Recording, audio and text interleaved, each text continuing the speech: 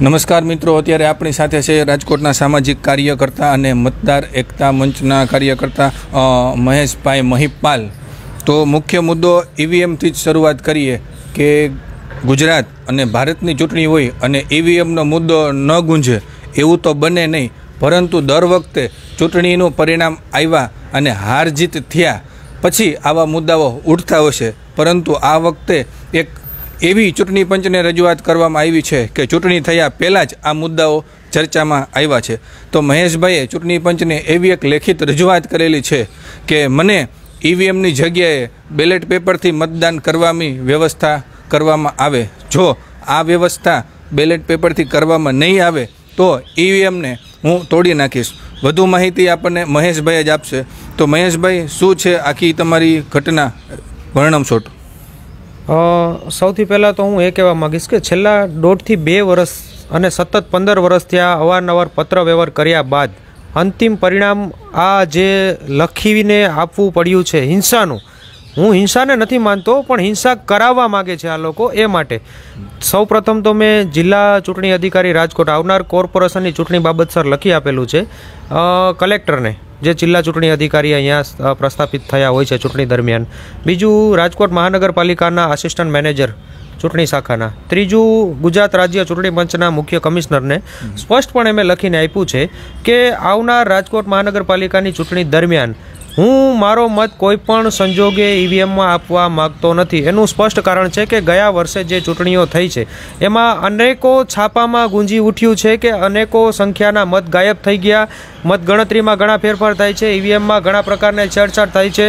આજે આટ આટલી રજૂઆત કેન્દ્ર લેવલ સુધી, કેન્દ્ર ચૂંટણી પંચ સુધી કરવા છતાં પણ જો એનો કોઈ પ્રત્યુત્તર નથી આવતો, તો હિંસા સિવાય બીજો કોઈ માર્ગ નથી.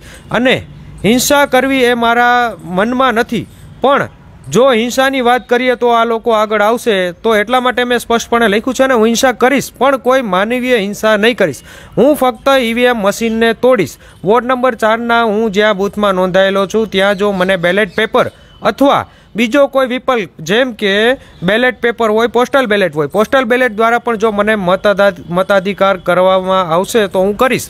પણ જો મને મતાધિકારથી વંચિત રાખવાની કોશિશ કરવામાં આવશે તો હું સ્પષ્ટપણે ઈવીએમનો નાશ કરીશ. બૂથમાં ગયા બાદ સંપૂર્ણ પ્રક્રિયા પૂરી કર્યા પછી પોલીસ કે કોઈ અધિકારીઓ દ્વારા મને રોકવામાં આવશે ઈવીએમ નાશ કરવાથી, તો હું કાયદાકીય પગલાં લઈશ. કારણ કે હું છેલ્લા પાંચ વર્ષથી આ પ્રયત્ન કરી રહ્યો છું. ચીફ ઇલેક્શન કમિશનને પણ મેં લખિત આપ્યું છે.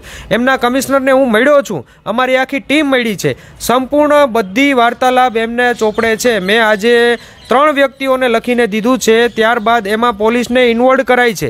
ગઈકાલે મારું પોલીસમાં નિવેદન લેવાયું છે બી ડિવિઝન પોલીસના પીએસઆઈનો મને ફોન હતો અને મારું નિવેદન અંતિમ ક્ષણે પણ એ જ હતું કે જો મને બેલેટ પેપર કે પોસ્ટલ બેલેટની વ્યવસ્થા કરાવવામાં નહીં આવે, તો હું ઈવીએમનો નાશ કરીશ અને આવી પડેલ તમામ પરિણામને હું હસતા મોઢે સ્વીકારીશ. હું જેલ જવા તૈયાર છું, પણ મારો મત હું ક્યારેય પણ ઈવીએમમાં આપીશ નહીં. આ જ મારી કમ્પ્લીટલી માગણી છે. આમાં મહેશભાઈ, બીજી વાત તો એ છે કે તમે ચૂંટણી પંચને જે કાંઈ રજૂઆતો કરી, તો ચૂંટણી પંચ તરફથી કોઈ પણ પ્રકારનો વળતો જવાબ આવેલ છે કે નથી આવેલ?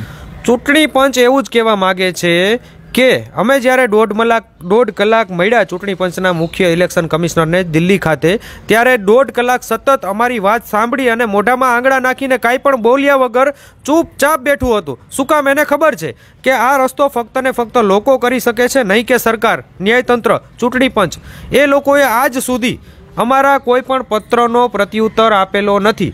અંતિમ પગલું આ ભરવાનું સૌથી મોટું કારણ એ જ છે. આજે હું કોઈ પણ જાતનો સવિનય કાનૂન ભંગ કરી અને જો ઈવીએમ તોડીશ, ઈવીએમ તોડ્યા બાદ મને કોર્ટમાં લઈ જવામાં આવશે તો કોર્ટમાં હું મારા તમામ પુરાવાઓ રજૂ કરીશ. કે ભાઈ, આ આટલા આટલા પત્રોનું કોઈ પ્રત્યુત્તર ન હોય તો અંતે જે વ્યક્તિ થાકે એ સવિનય કાનૂન ભંગ કરી અને ઈવીએમ ન તોડે તો શું કરે? હિંસા ન કરે તો શું કરે? તમે સરકારમાં બેસેલા ઉચ્ચ કક્ષાના અધિકારીઓ જો કોઈ પણ જવાબ દેવા બંધાયેલા નથી, તો ન્યાયતંત્ર શું કરશે? પોલીસ શું કરશે? ખરેખર તમે ન્યાયતંત્ર અને પોલીસને આડો હાથો રાખી એને તમે ગેરઉપયોગ કરી અને લોકોને દબાવી રાખવા માગો છો. પણ હું નહીં દબાવું. આજે રાજકોટમાં દસ લાખથી પણ વધારે મતદારો વ્યક્તિગત જો માગણી કરે તો આ માગણી સ્વીકાર્ય થશે. પણ આ જોવાનું એ રહ્યું કે આ વખતે મારી માગણી સ્વીકાર્ય થશે કે પોલીસ દ્વારા મને અટકાવવામાં આવશે. જો અટકાવવામાં આવશે તોય પણ હું ન્યાયતંત્ર પાસે જઈશ અને મને રોકવામાં અને હું ઈવીએમ તોડવામાં સફળ થઈશ, તો પણ હું હસ્તામુખે આવી પડેલ તમામ પરિણામને ભોગવી લઈશ. બસ આ જ મેઇન પોઈન્ટ છે. તો મિત્રો, આ હતા મહેશભાઈ મહિમા મહિપાલ, કે જેઓ પોતાની જીત પર અડગ છે કે કોઈને કોઈ બાબતે ઈવીએમમાં હું વોટિંગ નહીં કરું નહીં કરું અને નહીં જ કરું. લોક ફરિયાદ ન્યૂઝ સાથે અજય ગોડેશ્વર, રાજકોટ.